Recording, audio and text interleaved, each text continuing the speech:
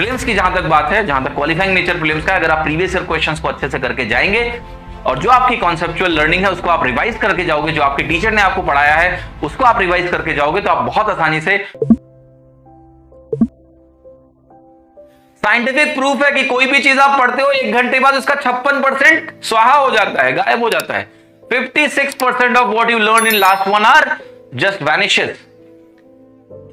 okay then they say एक हफ़्ता बिता दो।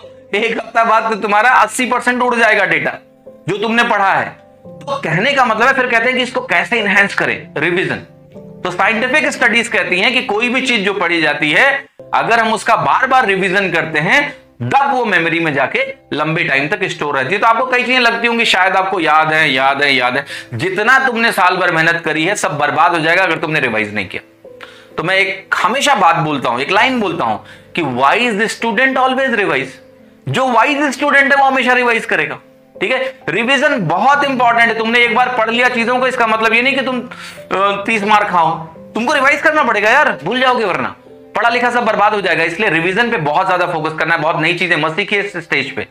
रिवाइज करिए। अब रिवीजन में क्या है? जैसे मैथ्स की बात करूँ। मैथ्स का टीचर हूँ मैथ्स के बारे में बात करता हूँ। प्रीवियस क्वेश्चन टीसीएस एरा में जो सवाल आए हैं वही आपके रिवीजन का सोर्स होना चाहिए। प्रीवियस ईयर क्वेश्चन के अलावा बहुत ज़्यादा नए सवाल लगाने की आवश्यकता आपको नहीं है। बिल्कुल परेशान नहीं होना है आपको। ठीक है? प्रीलिम्स की जहाँ तक बात है, जहाँ तक क्वालिफाइंग नेचर प्रीलिम्स का अगर आप प्रीवियस ईयर क्वेश्चंस को अच्छे से करके जाएँगे और जो आपकी कॉन्सेप्चुअल लर्निंग है, उसको आप रिवाइज करके जाओगे, जो आपके टीचर ने आपको पढ़ाया है, उसको आप रिवाइज करके जाओगे तो आप बहुत आसानी से मैथ्स में अच्छा स्कोर करोगे। ऐसे ही बाकी विषय में अगर आप अपने टीचर्स की बात सुनते हो, जिसको भी फॉलो करते हो, आप अच्छा करोगे। तीसरा पॉइंट